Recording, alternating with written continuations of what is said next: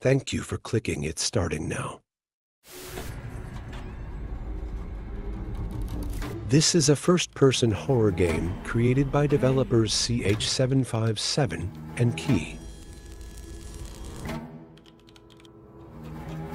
Monster DNA is a single-player psychological horror game that creates deadly monsters for its enigmatic clients. But be careful. Your creation may kill you. Survival in this twisted lab depends on your wit. Once you make the wrong move, you can be the next victim.